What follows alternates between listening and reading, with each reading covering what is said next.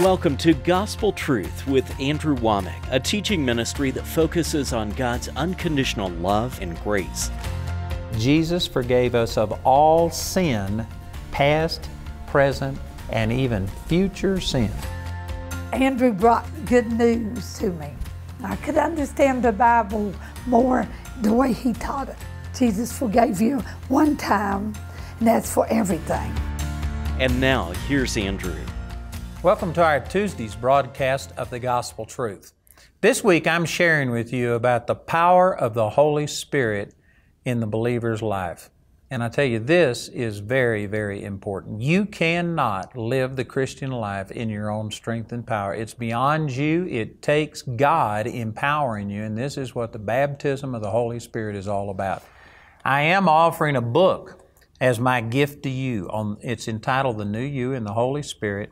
The first part of this book is about what biblical salvation is all about. There's confusion over that. The second part is all about the baptism of the Holy Spirit and specifically the gift of speaking in tongues. And I know that there's a lot of people that don't believe in this and they don't believe it's for us today, but I'm telling you, it's revolutionized my life. I speak in tongues a lot. You know, the Apostle Paul, who wrote half of the New Testament, said that he spoke in tongues more than them all. That means more than not only any individual, but more than all of the people in the church at Corinth combined. He spoke in tongues a lot. The guy who wrote half of the New Testament books spoke in tongues a lot. And I'm telling you, it is a gift for today. It has totally transformed my life. Now, there's been abuses of it, and there's some weirdos that, you know, go out there and claim that they're baptized in the Holy Spirit and do all kinds of weird things. But there's weird people that do everything. You can't reject it just because you've seen somebody do something wrong. You know, people don't counterfeit uh, fake money. They don't counterfeit monopoly money because there's no value to it. If something has been counterfeited, it is because the real deal is valuable. And sure, there's people that have misrepresented the baptism of the Holy Spirit. But that just goes to speak to the fact that it is a powerful gift, or Satan wouldn't be trying to discredit and turn, uh, these, turn people against it. So, yesterday I was sharing how that Jesus told His disciples not to go anywhere, not to tell anybody about His resurrection until they receive power from on high. They had the greatest news in the history of the world, and yet Jesus said, Don't share it until I empower you. And I shared scriptures out of John chapter 2 where when Jesus was in Jerusalem the first time, many people believed on him, but he, he did not commit himself to them because he didn't want people ministering out of their own ability. We need to receive power from on high, and that's what Acts chapter 1 was talking about. We read these verses yesterday. Now, I was raised in a denomination that said, yes, the Holy Spirit is alive today and active today. They rejected the gifts of the Holy Spirit. They believed that speaking in tongues and the gift of miracles and healings and diversities of tongues and all of these things, the discerning of spirits and stuff, that had passed away. There is nothing in the Word of God. I'm going to deal with this as we go on through, and I'll deal with some specific scriptures. But anyway, they believed that the Holy Spirit was here, but they didn't believe that there was a separate experience where you receive the Holy Spirit. They thought that you got the Holy Spirit, everything that there was to deal with the Holy Spirit at salvation. And anyway, I could spend the entire week just dealing with this. I'm not going to go into detail. Again, this book would deal with this in more detail. We've also got a package where we've got a study guide and where I taught on this in CDs and DVDs. And so it'll go into more information and more detail on this. I encourage you to get that. But let me just use one example here in John chapter 20. This is after Jesus was resurrected from the dead and he appeared unto his disciples. And in John chapter 20, verse 20, it says, And when he had so said, he showed unto them his hands and his side, where he had been pierced during crucifixion. Then were his disciples glad when they saw the Lord. Then said Jesus unto them, Peace be unto you. As my Father hath sent me, even so send I you. And when he had said this, he breathed on them and saith unto them, Receive ye the Holy Ghost. Whosoever sins you remit, they are remitted. Whosoever sins uh, un- unto them, and whosoever sins you retain, they are retained. So here's Jesus in his resurrected form, and he breathed on them and said, Receive the Holy Spirit. So this happened prior to what is recorded in Acts chapter 1. That's what I was reading yesterday. And right before Jesus was caught up into heaven and remained in heaven, this is after his resurrection. He walked on the earth for 40 days. He appeared to the disciples. This instance in John chapter 20 is sometime before his ascension back into heaven. And in Acts chapter 1, verse 8, he says, But you shall receive power. After that, the Holy Ghost is come upon you. Now, what does this mean? Over here in John chapter 20 and in verse 22, he says, Receive ye the Holy Ghost. But over here in Acts chapter 1, verse 8, which was later than that first instance, he says, uh, But you shall receive power. After that, the Holy Ghost has come upon you. So I thought they already had the Holy Spirit. Well, you know what? I'm not going to spend a lot of time on this. You could go into more detail, but many people believe that they received the Holy Spirit at salvation. And what's recorded in John chapter 20 is salvation because it says in Romans chapter 10, verse 9, that if you will confess with your mouth the Lord Jesus and believe in your heart that God raised him from the dead, you shall be saved. So these disciples confessed that Jesus was their Lord. Matter of fact, right here in John chapter 20 and in verse 28, Thomas answered and said unto him, My Lord and my God. So he confessed Jesus as Lord. Again, Romans chapter 10, verse 9 says you have to confess Jesus as your Lord and believe in your heart that God raised him from the dead. Well, they definitely were believing that because here he was resurrected from the dead and they accepted it. So they confessed him as Lord, believed that he was raised from the dead, and according to Romans 10 9, you shall be saved. That is salvation. So these people were forgiven. They were saved, and yet he told them, You shall receive power. After that, the Holy Ghost has come upon you. So there's two ways to interpret that. Either these people received a measure of the Holy Spirit here in John chapter 2, or John chapter 20, verse 22. Either they received a measure of the Holy Spirit, but then there was an, another measure, a greater measure on the day of Pentecost when they received it. It's, it's either that or this was a command for them to receive the Holy Spirit which they would receive later on the day of Pentecost. It's one of those two things, but it shows you that there is a difference between them being saved, because they were saved right here, and receiving the baptism of the Holy Spirit. Now, the reason I'm making an issue out of this is because a lot of people are taught that you've got everything that there is to get when you get born again, and there is no other experience with the Lord. That is not what this teaches, and this isn't an isolated example either. Look over here in the eighth chapter of the book of Acts. And it says in verse 12, this is Acts chapter 8, verse 12, and when they believed, Philip preaching the things concerning the kingdom of God and the name of Jesus Christ, they were baptized, both men and women. Again, I could show you based on uh, Acts chapter 11, and if I have time, I may get over there, that they would not baptize a person until they had already believed. So these people were believers or they would not have been baptized. And so they, when they believed concerning the kingdom of God in the name of Jesus Christ, they were baptized, both men and women. Then Simon himself believed also, and when he was baptized, he continued with Philip and wondered, beholding the miracles and signs which were done. Now, when the apostles were at Jerusalem, heard that Samaria had received the word of God, they sent unto them Peter and John who, when they were come down, prayed for them that they might receive the Holy Ghost. So here is another example, the second one that I've used, that these people believed, they were baptized, and when the apostles in Jerusalem heard that they had been saved, then they went down and prayed for them that they might receive the Holy Spirit. And when they prayed for them, it says in verse uh, 16, For as yet he was fallen upon none of them, only they were baptized in the name of the Lord. So they were saved, they were baptized, but the Holy Spirit had not fallen upon them. Then laid they their hands on them, and they received the Holy Ghost. And when Simon saw that through the laying on of the apostles' hands the Holy Ghost was given, he offered them money. And of course, they rebuked him for this.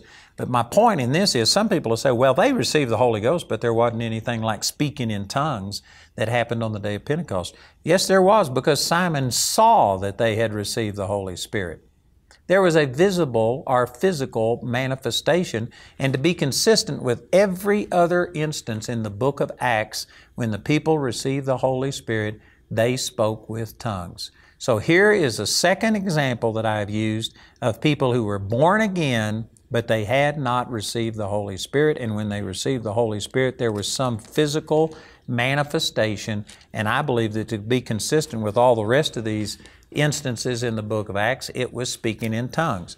Then you come over to the 10th chapter, and this is where Cornelius, who was a centurion, he had an angel appear unto him, and they, the angel told him to go ask for Peter to come and preach the gospel unto him. So Peter came down and preached to him, and it says in verse 44, this is Acts 10 44, while Peter yet spake these words, the Holy Ghost fell on all them which heard the word, and they of the circumcision which believed were astonished as many came with Peter, because that on the Gentiles was poured out the gift of the Holy Ghost, for they heard them speak with tongues and magnify God. Then answered Peter, Can any man forbid water that these should not be baptized, which have received the Holy Ghost as well as we?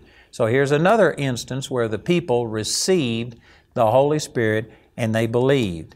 And so that is recorded. Then over in the 19th chapter of the book of Acts, and I'm just picking out a few, there's others here, but in the 19th chapter of Acts, it says in verse 1 And it came to pass that while Apollos was at Corinth, Paul, having passed through the upper coast to Ephesus, and finding certain disciples, he said unto them, Have you received the Holy Ghost since you believed?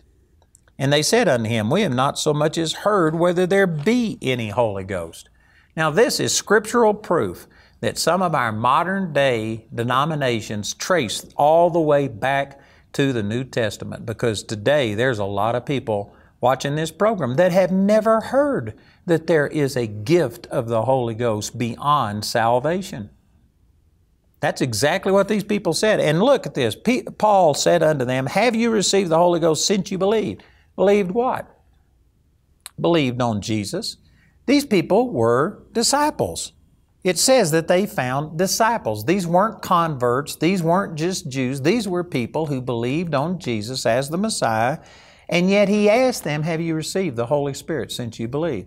He wouldn't have asked that if it was synonymous, if it was automatic to receive all of the power of the Holy Spirit at salvation. He wouldn't have asked them this because it would have been obvious that when you got born again, you got all that there is. No, these were people who were believers, they were disciples, and yet he says, Have you received the Holy Ghost? And they hadn't even heard about the baptism of the Holy Spirit. And then in the third verse, he says, Unto then, what were you baptized? And they said, Unto John's baptism. And you know, this, I'm reading a little bit into this, but how did these people believe on Jesus and get born again and baptized and yet not hear about the Holy Spirit? I believe it's probably Apollos. And this is taking a number of scriptures, the 18th chapter, and a number of things and comparing it. And Apollos was a man who went out and he was, he was zealous preaching that Jesus was the Christ, but he got this message and left before the resurrection and before all of these things. And he was out proclaiming that Jesus was the Christ, and it was true what he said, and he was getting people born again, but they didn't know about the baptism of the Holy Spirit.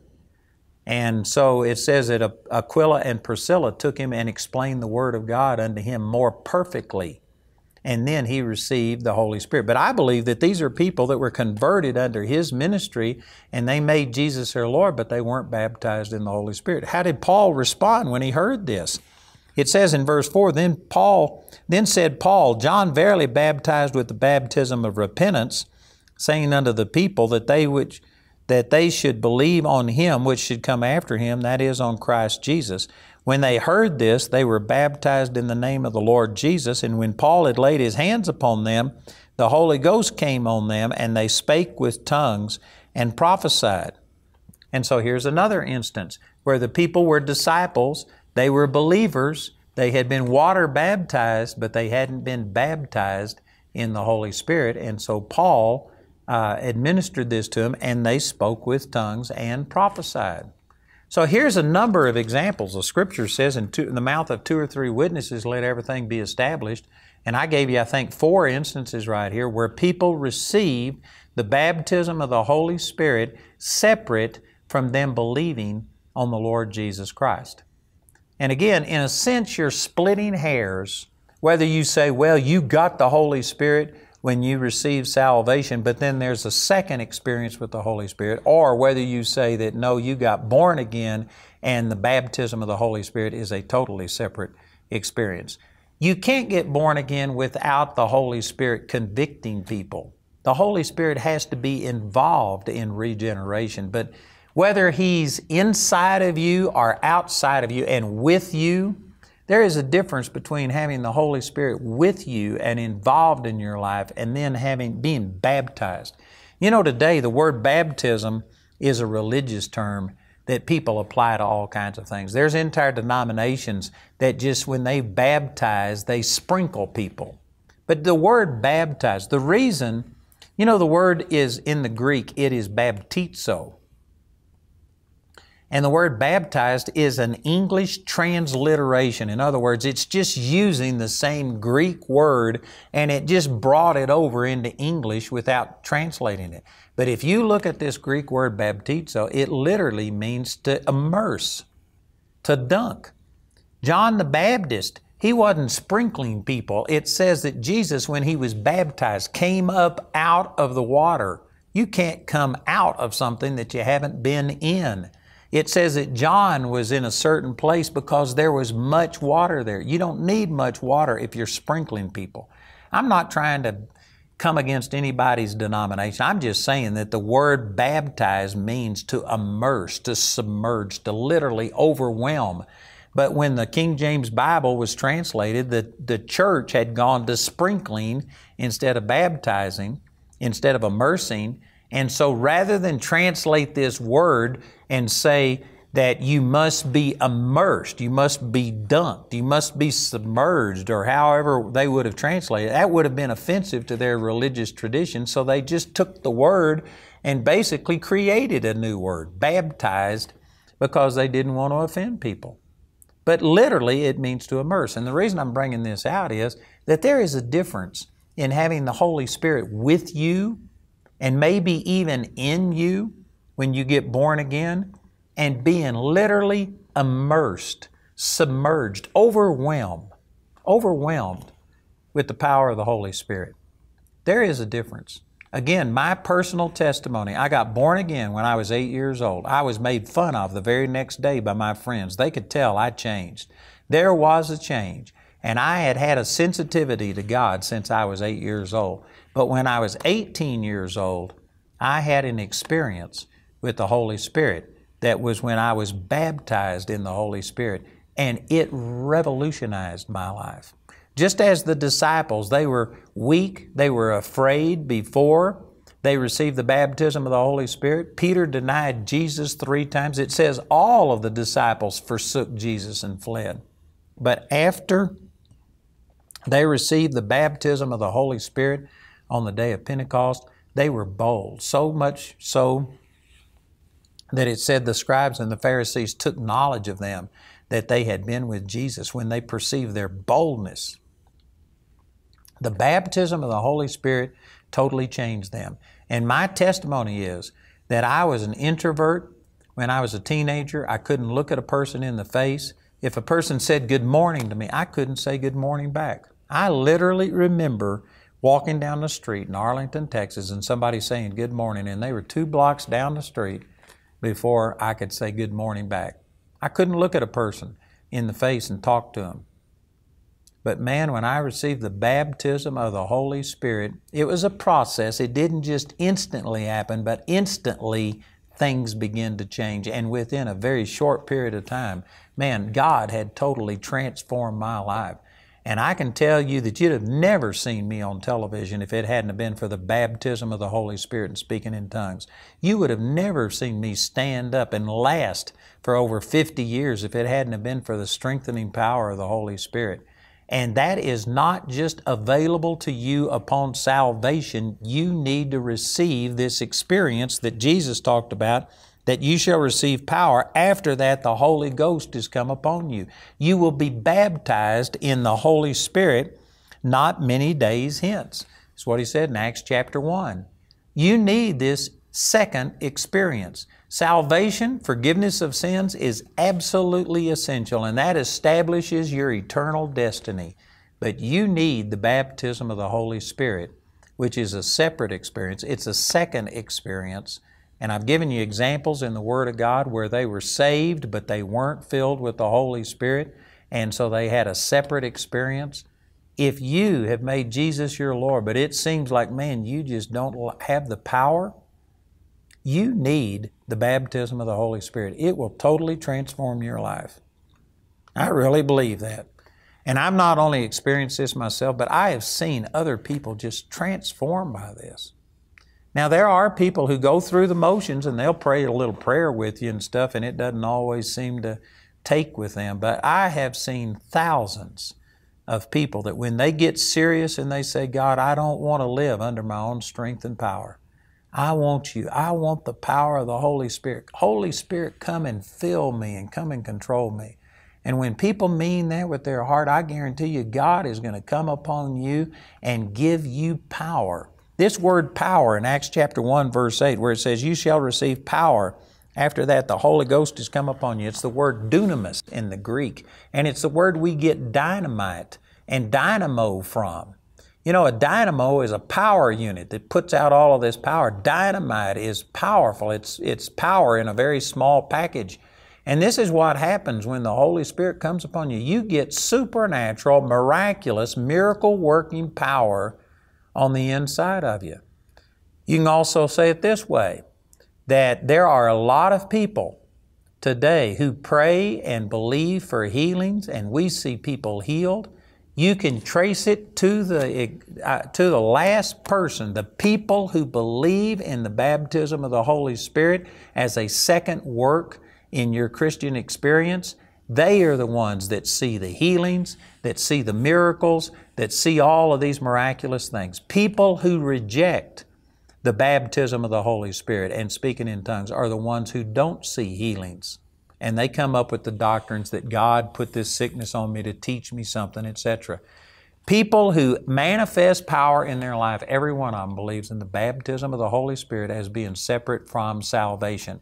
People who believe it's all together and they don't they deny the gifts of the Holy Spirit, they don't see these powerful things happen. Which one do you want? It's that simple. I've got this book that I'm going to give to anyone who requests it. You can call the number on your screen. It will uh, describe what true salvation is, and then the second part of the book will talk about the baptism of the Holy Spirit and specifically the gift of speaking in tongues. This is my free gift to you, anybody who wants it. We also have a package that has a lot of other study guides on this if you want to go into more detail our announcer will give you all of the details, but I encourage you to call and get this free book. And if you don't have the baptism and speak in tongues, ask, and we'll pray with you, and you'll receive today. Welcome to the AWM Minute, a small glimpse on how your partnership with Andrew Wommack Ministries and Charis Bible College is sowing seeds around the world. When you partner with us, you are supporting our Communication Services Department where our team of staff minister through free prayer and materials to anyone who calls in. This team is the front line of AWM, often the first contact many viewers have with the ministry. We average over 2,000 calls a day, 400 plus thousand calls per year. 65% of our calls uh, are still prayer calls. And our job is simply take the seed that Andrew planted with his teaching, water it, tell them who they are, tell them what the Word says, pray for them, get them healed, connect them with God. Thank you, partners, for enabling us to share the heart of God with our callers as we see lives transformed through His unconditional love and grace. To receive prayer, materials, or to become a partner, give us a call at the number on your screen today. You can get Andrew's book titled The New You and the Holy Spirit in either English or Spanish today, absolutely free as a special website offer when you go to awmi.net. This offer is limited to one free book per household and is only available in the US, UK, Canada, and Australia while supplies last. Go to awmi.net today to receive this free offer. Today's series is an abbreviated version of Andrew's teaching titled The New You and the Holy Spirit. This four part teaching, in its entirety, is available on CD or DVD as seen on TV. Both were made from the original five week broadcasts. This teaching is also available in a companion study guide. Each of these valuable resources are available for a gift of any amount. You can also get these products in the New You and the Holy Spirit package, which includes the book, study guide, and your choice of either the CD or DVD album. This package has a catalog value of $75, but you can get it today for a gift of $50 or more. You can order resources or become a grace partner through our website at awmi.net. While there, you can discover more product details and download additional free resources. Or call our helpline Monday through Friday from 4:30 a.m. to 9:30 p.m. Mountain Time at 719-635-1111. To write us, use the address on your screen. We appreciate your generosity and hope to hear from you today.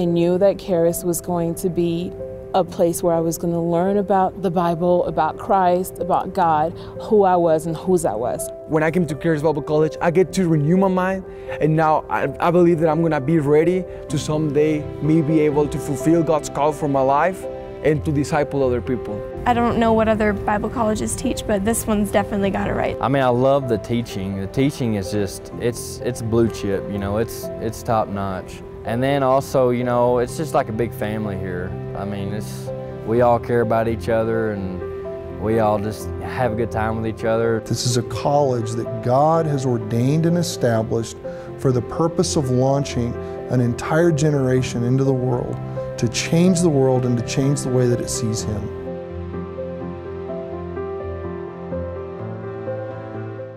Working hard, the Rockies are calling you. Hear world class speakers, real kingdom leaders. This June 12th through the 14th, attend the Kingdom Business Summit. Learn from Andrew Wommack, Willie Robertson, Paul Milligan, Dr. Henry Cloud, Billy Epperhart, Dr. Lance Wallnau, Dr. Dean Radke. Check out kbs2019.org for all the info.